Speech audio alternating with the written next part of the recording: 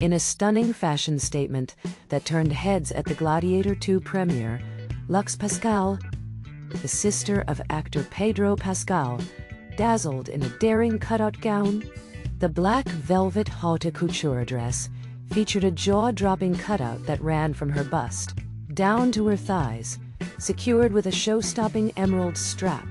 Pedro, who stars in the film as Marcus Acacius, matched his sister's bold look with a plunging neckline and vibrant red pins on his collar.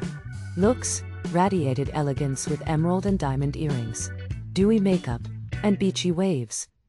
While Pedro played the supportive brother, ensuring she looked flawless on the red carpet. This dynamic duo knows how to make a statement, having previously wowed at HBO's post-Emmy party in equally stylish ensembles.